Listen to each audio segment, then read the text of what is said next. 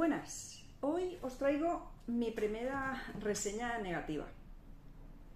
Y lo primero que os tengo que decir con respecto a lo de reseña eh, negativa, me refiero a que os voy a dar mi opinión y en este caso la historia no me ha gustado. Por lo tanto, siempre que veáis un vídeo mío y os hable sobre algo negativo o algo, es mi punto de vista y es mi opinión. ¿Vale? Lo digo porque cada, persona tiene opinión, habrá gente que le habrá fascinado esta historia y en mi caso a mí me ha aburrido muchísimo. Y os cuento. Se trata del álbum, bueno, álbum ilustrado, es un relato corto, que es la leyenda de Sleepy Hollow, de Washington, eh, Washington Irving, que Edelvides editó con unas bellísimas ilustraciones de Antonio Lorente y en el fondo eso es lo primero que me atrajo las ilustraciones. A mí me gusta mucho como ilustra Antonio Lorente y me parecía una, una vamos, un álbum ilustrado muy, muy atrayente. Y la verdad es que me dejé llevar por el error que creo que nos ha pasado a muchos, que tenemos en nuestro imaginario la película de Disney de, de Sleepy Hollow, que imagino que algunos recordaréis o incluso la otra película que salió de, Sleepy Hollow, que indudablemente esa no tiene absolutamente nada que ver con la historia. El corto de Disney aún tiene cierta similitud, pero la película de imagen real que se hizo no. Entonces, con ese, con ese error mío en la cabeza, pues yo me lo compré, además eh, lo considero una historia, era una historia de terror, y me hacía gracia y me apetecía conocerla. La verdad es que yo no sabía que la historia es un relato corto de 1820 de este autor, eh, Washington Irving, que es un autor eh, estadounidense. Entonces, claro, 1820 es un relato corto de terror.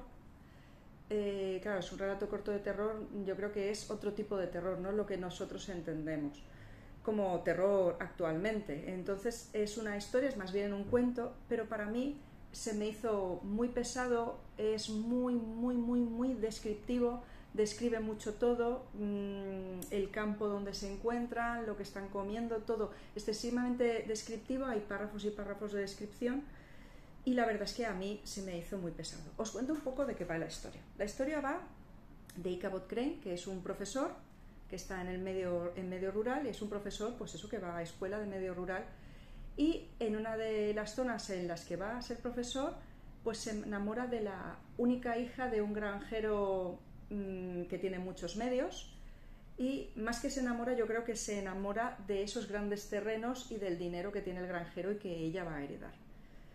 Entonces es un poco la ensoñación que tiene Ichabod Crane que la puede enamorar, a la vez en ese entorno tan rural, con todos estos eh, espacios que están tan descritos, y otros pretendientes que quieren pretender a, esta chica y entre medio se van contando las historias de terror de la zona, de leyenda, donde está la leyenda del jinete de la cabeza cortada.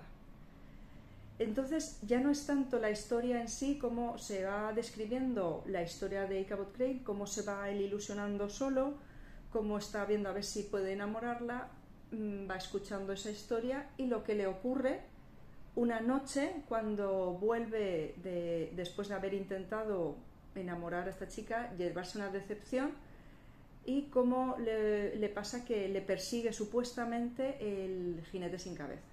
O sea, al final la historia es todo el rato la descripción de todo lo que ocurre em, cuando él es profesor, en el campo, todo muy descriptivo. Entonces solo hay una pequeña escena de ese momento, supuestamente que era el momento de terror y luego para luego desaparecer. Lamento, os he destripado la historia, pero imagino que casi todos lo conoceríais. Luego avisaré que es eh, un spoiler. Pero lo que os digo, me ha, mm, me ha decepcionado porque, claro, yo tenía esa imagen de, de, de ese corto y algo mucho más dinámico. Me ha parecido lento y me ha parecido que no hay prácticamente acción. Lo único bueno de todo este álbum ilustrado, como os digo, son los dibujos, que en cierta manera están basados pues, en actores que le llaman la atención a Antonio Lorente. Ahora, si queréis, eh, nos vamos a acercar y podéis ver el interior para que veáis que es muy interesante. También os diré que no, no creo que sea un, álbum ilustrado para niños, es un álbum ilustrado para, para adultos, porque yo creo que a los niños, no habrá muchos niños que este tipo de cuentos les resulte atrayentes. Y lo que os digo, al ser muy descriptivo, eh, descriptivo costumbrista, no, no creo que atrapen a un lector muy joven, la verdad. En mi caso, que yo no soy joven, tampoco me, me atrapado y me lo he leído todo. Y aunque se trata de una novela que no es muy, vamos, como digo, es un relato corto, se me ha hecho muy pesado. Pero bueno, nos vamos a acercar, vais a venir conmigo, para poder ver el interior, a ver qué os parece, los dibujos de Antonio Lorente. Venid conmigo. Bueno, ya estamos aquí, cerquita para que lo podáis ver. Se trata de un álbum ilustrado de tapadura. La verdad es que la edición está muy cuidada. se me cayó y el pobre se apoyó un trocito, pero bueno, es, como os digo, es una maravilla. La edición es una maravilla. O sea, el hecho de que la historia a mí me haya aburrido, nada tiene que ver con el hecho de que la edición tiene una calidad excelente y los dibujos son eh, y preciosos. Antonio Lorente la verdad es que hace unas ilustraciones muy interesantes, el prólogo es de Maxine Huerta, que ahí es donde ya nos avisa un poco que la historia no es lo que muchos nos pensábamos de la historia de Disney. La verdad es que vale la pena ir viendo todas las ilustraciones, todas las láminas tienen alguna, alguna ilustración como, os digo, las ilustraciones también muestran un poco el paisaje donde se encuentran eh, y los diferentes personajes. Entonces, claro, yo creo que a mí también me llevó a un error este tipo de imágenes porque yo pensaba que era una historia un poco más, eh, más oscura, que daría más miedo. Mm, ya me diréis a qué actor os recuerda y Capot Cray. Todos estos paisajes rurales,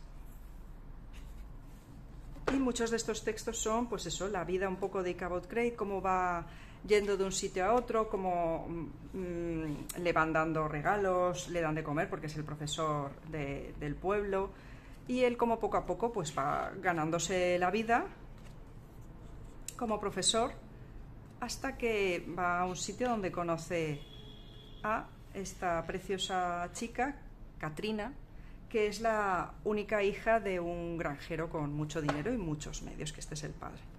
Entonces, yo creo que Ichabod Crane, más que enamorarse de ella, que es muy bonita ella, se enamora de todo lo que puede tener gracias a ella. Porque en el fondo es bastante ambicioso.